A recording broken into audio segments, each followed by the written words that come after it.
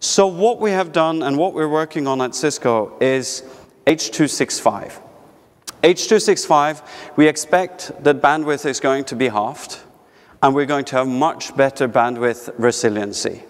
We are putting Cisco intellectual property into the standards that will be open to other players as well to adopt. And we're working this in a standardization committee. So hands up here, how many people have seen H.265 uh, uh, running?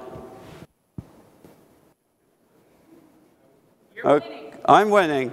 You should put your hand up. You've seen it, right? I'm about to see it right now. For the okay. Um, I don't think almost anyone has seen. Do you want to see it? You sure you want to see it? Let's bring it up. So here you have H264 and H.265, and, and here's a quiz for you guys. A show of hands, those that believe the right-hand side is H265. Two, okay. Show of hands who believes that the left side is H265. Three, and the rest of you think is what? okay, let's do it again. So can anyone see the difference? It's hard, isn't it? But here comes the thing. Both of these calls are running at 720p30, but one is running on half the bandwidth of the other one. It's running on half the bandwidth of the other one. You've never seen this before. Which one is 265, half the bandwidth? Can you point it out? That one? So let's give them the answer here, guys.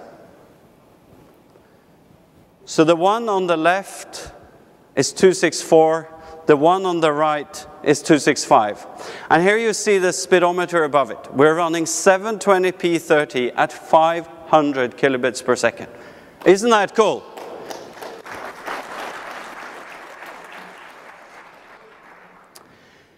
The standard isn't fully ratified yet. We're working on the last uh, things, but this is our implementation so far. This is a live demo. It's the first time it's been shown.